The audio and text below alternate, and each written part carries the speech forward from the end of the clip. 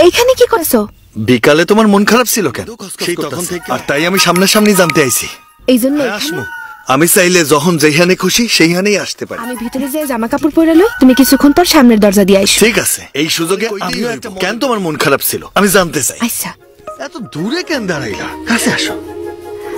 এখন ক ঠিক আছে আমার কথা ভালো কইরা শোনো।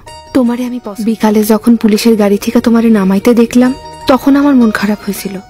এই জন্য এখন শোনো আমি কিন্তু লেখাপড়া জানি না। তাই ভালো করে এতই পছন্দ করি যা চাইবা তাই দিমু।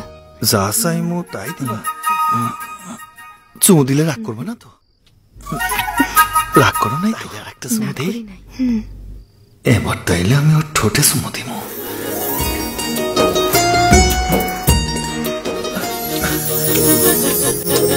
আরে এসব কি করতেছো? এখানে নাই তা আমি জানি না আমাকে সবার এখানে আচ্ছা শোনো তোমার থেকে এক ঘন্টাও দূরে থাকতে পারি না।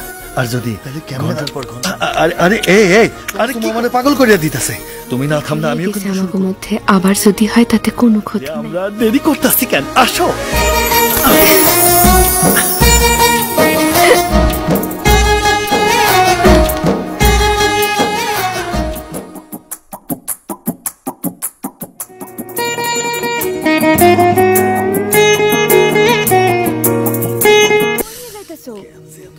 এসব কি পাগলামি? তুমি আমার এইভাবে আড়াই চলতেছো কেন?